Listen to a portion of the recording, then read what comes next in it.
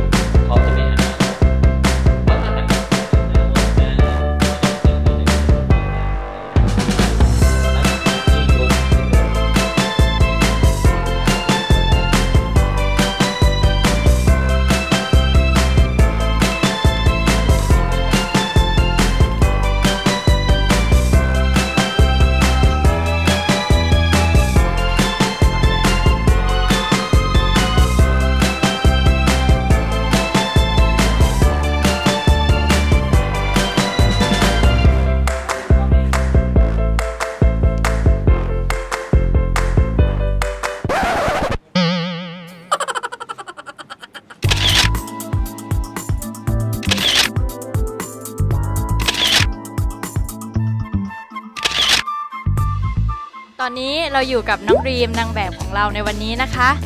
วันนี้น้องดีมอยู่ในชุดธีมอะไรคะติงนางฟ้าค่ะ Angel ชิวๆชิวตื่นเต้นไหมคะ รู้สึกยังไงคะ ๆก็ตื่นเต้นเล็กน้อยค่ะ ก็รู้สึกดีนะคะ เพราะว่าก็เป็นครั้งแรกที่ได้แต่งตัวแบบนี้อะค่ะถ้าเกิดคราวหน้ามีโอกาสอีกจะมาอีกไหมคะ ยินดีร่วมงานค่ะทีมงานน่ารักมากค่ะก็ค่ะขอบคุณน้องดีมมากนะคะ ขอบคุณค่ะ ชื่ออะไรคะอ๋อชื่ออ้อมค่ะ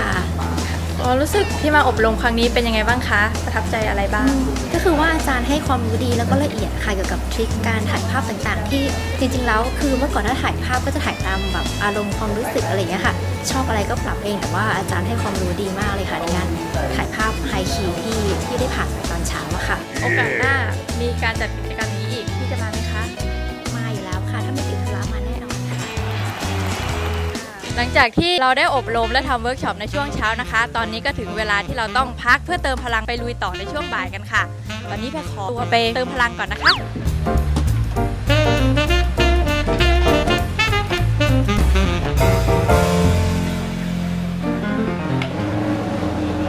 ครับอภิชาติสาครวาสีนะครับผมเป็นประธานชมรมถ่ายภาพ PTTGC นะครับที่เราเต็จัดกิจกรรม เป็นเวิร์กช็อปแล้วกันเป็นเวิร์กช็อปของการถ่ายภาพเราก็จะมีหลายหลายหลายรูปแบบกิจกรรมเหมือนกันอย่างวันนี้ วันนี้เราจะเป็นถ่ายใน theme Angel and Demon นะครับ ซึ่งเป็นการถ่ายภาพโทน high key กับ low keyเราก็อยากจะให้ผู้ที่อยู่ในชมรมอะได้มีการแลกเปลี่ยนความคิดเห็นกัน แล้วก็มาดูว่าเทคนิคการวัดแสงในสภาพแสงที่มีสีขาวมาก หรือว่าที่มีสีดำมากๆเนี่ย เทคนิคการวัดแสงเป็นอย่างไร white balance เป็นอย่างไรนะครับถ้ามีโอกาสเนี่ยก็จะมีโอกาสก็จะเปิดโอกาสให้บุคคลภายนอกได้ร่วมกิจกรรมได้ โดยที่อาจจะส่งต่อมาทางพิกเซลก็ได้นะครับ ก็เดี๋ยววันหลังเนี่ยเราจะได้เปิดโอกาสให้บุคคลภายนอกได้ร่วมกิจกรรม ตอนนี้นะคะเราอยู่กับอาจารย์วรชาติสดศรีค่ะ บรรยากาศการอบรมเป็นยังไงบ้างคะอาจารย์ ก็ถือว่าสนุกมาก ๆ นะครับ แล้วก็เพื่อนๆ เนี่ยก็หลาย ๆ คนมีความตั้งใจ นะแล้วก็ส่วนใหญ่ก็เป็นคนคุ้นหน้าคุ้นตากัน เพราะว่าเราก็มีกิจกรรมกับทาง PTT GC เนี่ยมาตลอดหลายปีแล้วนะครับแล้วก็ปีนี้ก็เป็นอีกครั้งหนึ่งที่เราได้มีโอกาสมา meeting กันเหมือนได้เจอเพื่อนเก่านะครับแล้วก็รวมไปถึงบรรยากาศของการมีน้ำใจถ่ายภาพแบ่งพื้นที่กันบ้างแย่งมุมกันบ้าง สนุกสนานดีนะฮะวันนี้ก็ถือว่าสนุกมากแล้วเวิร์กช็อปในวันนี้มีไฮไลท์อะไรบ้างคะ วันนี้เราจะมีการถ่ายภาพนะครับของนางแบบนะครับในทีมที่เป็นนางฟ้า อ่าแบบแนวแฟนซีแฟนซีกับแบบที่เป็นปีศาจดุดุดันดันๆเข้มๆแบบแนว demon แล้วก็วันนี้เนี่ยก็ได้ให้เพื่อนๆได้ฝึกการชดเชยแสงทั้งแบบที่เป็นสีขาวอ่าฉากหลังสีขาวแล้วก็ฉากหลังสีดำนะก็จะได้ลองถ่ายภาพขาวล้วนๆกับดำล้วนๆดูว่าทั้งสองอย่างแตกต่างยังไงนะครับการถ่ายภาพแบบแสงแบนๆกับแบบที่มีแสงเงา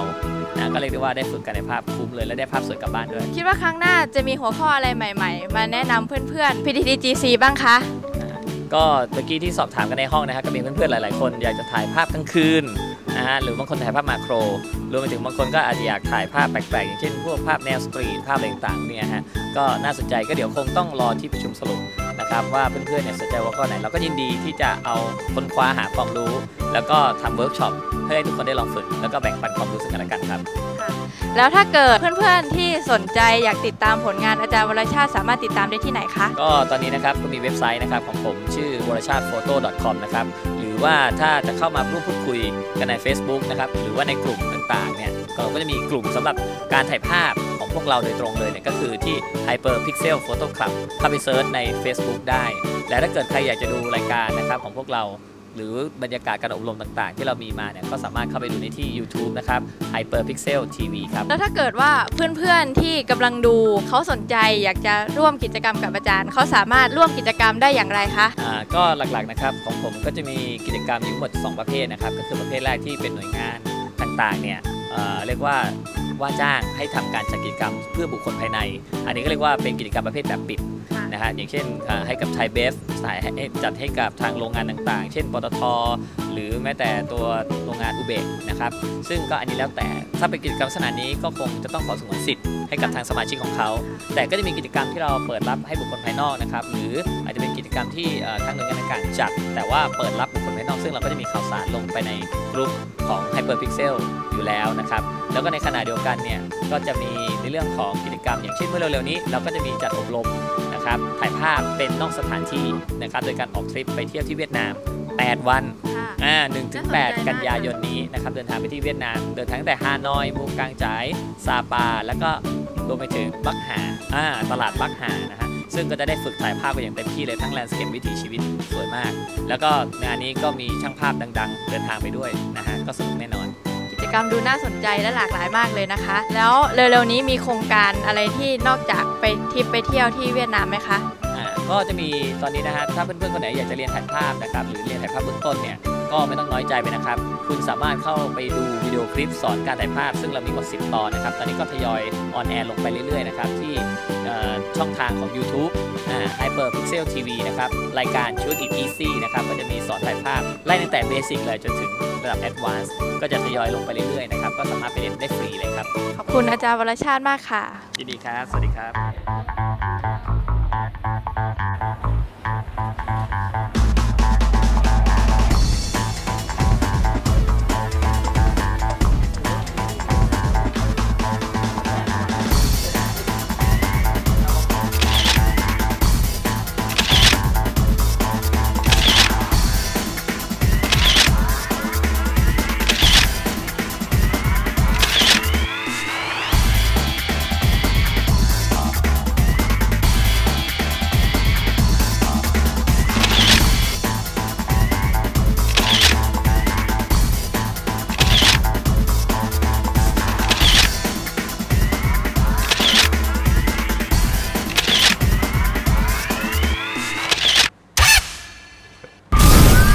見せ